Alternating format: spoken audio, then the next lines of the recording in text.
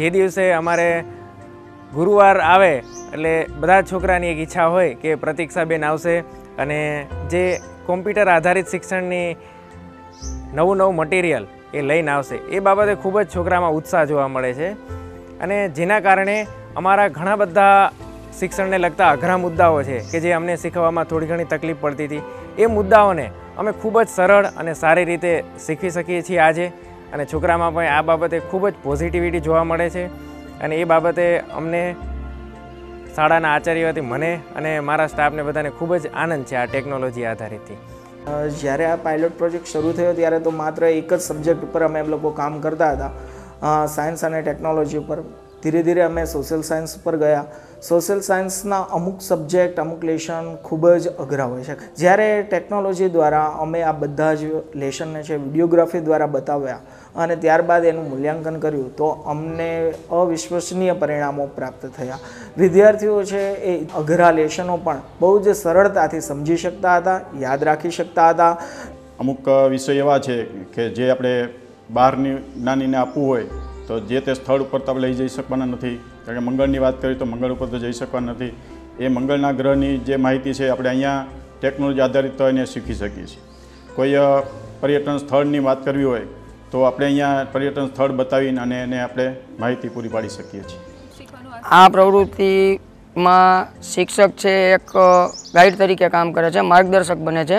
For example, video ચાલુ હોય, કોઈ મુદ્દો સમજવાનો ચાલુ હોય, તો ક્યાંય શિક્ષક એને પોઝ કરી અને બાળકોને સમજાવી શકે છે, વરી આગળ પ્લે કરી શકે. એટલે કહેવાનો અર્થ કે એ મુદ્દો શિક્ષકની હાજરીમાં શિક્ષકના માર્ગદર્શન નીચે વિડીયોની મદદથી ટેકનોલોજીની મદદથી ખૂબ સારી રીતે બાળકો એક્સેપ્ટ કરી શકે.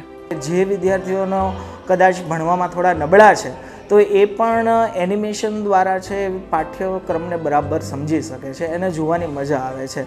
એ વિષય વસ્તુને એનિમેશનમાં ભણી રહ્યો છે વિડીયોગ્રાફીમાં ભણી રહ્યો છે, ત્યારે એનો રસ એટલો જ જળવાઈ રહે છે.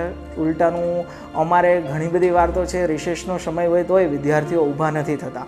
એટલે આ મોટો ફાયદો છે ટેકનોલોજીથી શિક્ષણ આપવામાં.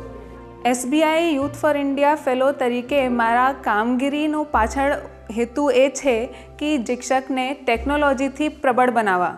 કે તેઓ આદાન પ્રદાનથી વધારે સારું અને વધારે રુચિપ્રદ શિક્ષણ ક્લાસમાં આપી શકે.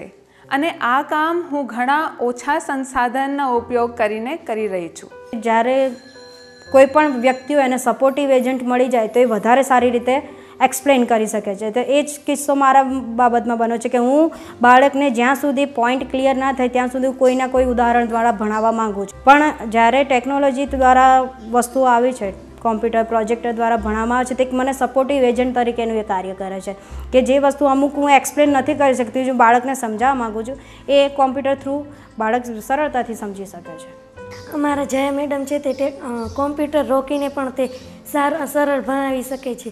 અને રૂમમાં ભણાવતા તેથી સરળ અમને સમજાય છે.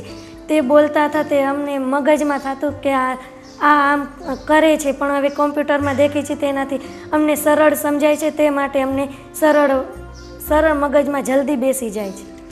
પહેલાં જે પ્રવૃત્તિ કરાવતા હતા, તે પ્રવૃત્તિમાં મજા તો આવતી, પણ તે પ્રવૃત્તિને આપણે લાંબા સમય સુધીને અમને યાદ ન રહેતું. અને જે અમને આ કોમ્પ્યુટર દ્વારા પ્રવૃત્તિ કરાવે છે, તેમાં અમને જોઈએ છે ને, એટલે જોયેલું આપણે ઝાઝા સમય સુધી યાદ રહે. અને પેલી તો ચોપડીમાં જે પ્રવૃત્તિ હોય ને, તે ચોપડીમાં આકૃતિ દોરીને બતાવી દેતા. અને અમે આ જે પ્રવૃત્તિ છે ને કોમ્પ્યુટરમાં જોઈને, કેમ કરે ને, એ બધું અમને સારી રીતે યાદ રહે છે. ટેકનોલોજીથી માત્ર એવું નથી કે દ્રશ્ય અને શ્રાવ્ય થઈ ગયું, પણ સાથે સાથે મૂલ્યાંકન પણ થાય છે કે વિદ્યાર્થી પહેલાં તો લેશનને જોવે છે, એને બરાબર સાંભળી અને એને સમજવાની કોશિશ કરે છે. ત્યારબાદ પ્રશ્નોત્તરી થાય છે. પ્રશ્નોત્તરીમાં એ પોતાનું મૂલ્યાંકન પણ કરે છે. શિક્ષક પણ મૂલ્યાંકન કરે છે અને જરૂર જણાય તો ફરીવાર પણ એને એ લેશનને રિપીટ પણ કરાય છે. એટલે બહુ જ સારો એવો પ્રતિભાવ છે. બહુ સારી એવી ટેકનિક છે. જેનો ઉપયોગ હું તો માનું છું કે દરેક શાળાએ કરવો જોઈએ.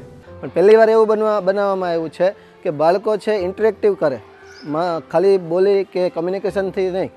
પણ પોતે એક્શન કરે. એક્શન રિએક્શન દ્વારા સરસ કામ કરવામાં આવે છે. ખાસ કરીને જ્યારે બાળકો વીડિયો જોવે અને વીડિયો જોઈ લીધા પછી જ્યારે એના પ્રશ્નોના જવાબ આપવામાં આવે છે ત્યારે એમના હાથમાં જ્યારે માઉસ હોય છે, એ માઉસનું ક્લિક કરવા માટે જે એમનો ઉત્સાહ હોય છે, એ ખૂબ જ અલગ હોય છે. અને ઇન્ટેન્સથી બાળકો, આમ સાયકોલોજીકલ અને માનસિક રીતે અહીંયા હાજર જ હોય છે. એ સૌથી આનંદની બાબત છે. પહેલી વસ્તુ તો એ કે બાળક ટેકનોલોજીથી માહિતગાર થાય. ઘણા બાળકો એવા હશે કે એને કોમ્પ્યુટર, માઉસ, આ બધી ટેકનોલોજીથી બહુ ડીપમાં પરિચય નહીં હોય.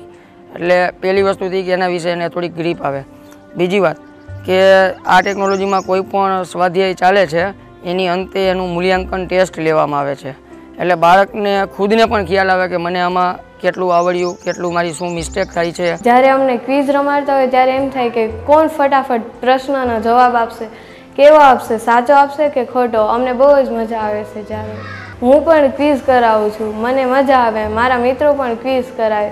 ત્યારે મને બહુ જ મજા આવે છે. કોઈ પણ વસ્તુ માટે બદલાવ લાવો, તેનો તમારે મહાવરો પુનરાવર્તન રિવિઝન તો કરવું જ પડે. તમે ટેકનોલોજી દ્વારા શિક્ષણ આપો કે પછી સામાન્ય પદ્ધતિથી શિક્ષણ આપો. જ્યાં સુધી બાળક કે પોતાના વાલી પોતે એની પાછળ મહેનત નહીં કરે, ત્યાં સુધી બાળક આગળ વધી શકશે નહીં. બદલાવ તો બધી વસ્તુમાં આવી શકે, પણ એના માટે આપણે જાતે પણ મહેનત કરવી પડે. બાળકોનો જે ટેકનોલોજી છે, એનાથી વિશેષ એની નૈતિક મનોબળ બહુ મજબૂત થતું હોય છે. અને નૈતિક એને બાળકોને આગામી દિવસોમાં ટેકનોલોજી આવશે તો બાળકોને આગળ જવા માટે બહુ સરળ રહેશે.